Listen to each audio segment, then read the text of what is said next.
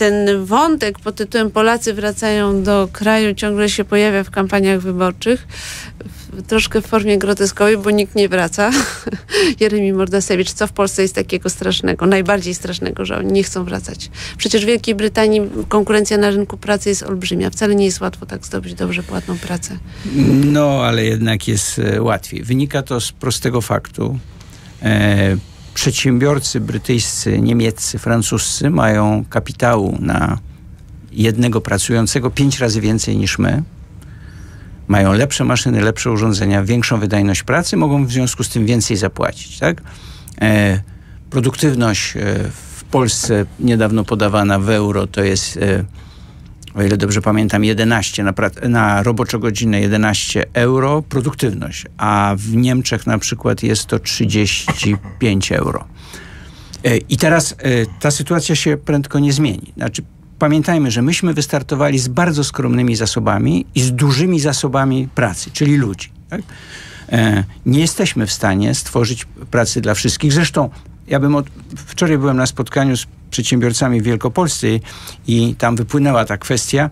Nawet nie chodzi tyle o tworzenie e, e, miejsc pracy byle jakich, bo miejsca pracy zawsze są jakieś, tylko e, nie jest akceptowalne wynagrodzenie. E, Teraz wynagrodzenie nie może być wyższe niż e, produktywność, a z kolei produktywność, e, wzrost produktywności wymagałby wzrostu inwestycji.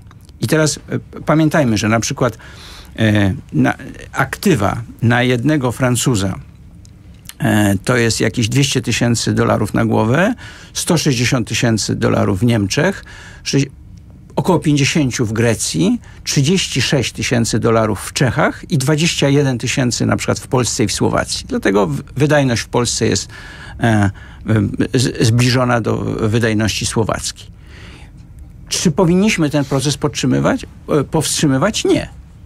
Europa Zachodnia ma dużo kapitału, my mamy dużo ludzi.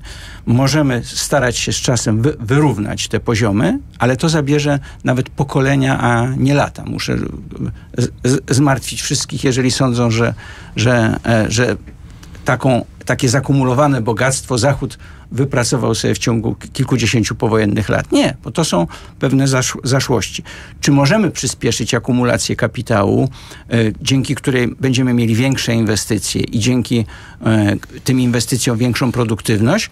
Możemy, bo na przykład to, o czym rozmawialiśmy, dopłata 60 miliardów do systemu emerytalnego rok w rok oznacza, że o tyle zmniejszamy inwestycje. Tak? Nie o tyle, oczywiście upraszczam, ale chodzi mi o to, żeby pokazać, że jeżeli utrzymujemy ludzi, płacimy ludziom za to, że nie pracują, no to ci, którzy pracują, muszą zapłacić odpowiednio Ale Polacy chcą więcej. i tego, i tego. Chcą inwestycji i chcą no, no ja też... wiem, że dwie trzecie Polaków chce zmniejszenia podatków i zwiększenia świadczeń socjalnych. No tak. ale to, to, to jest absurdalne.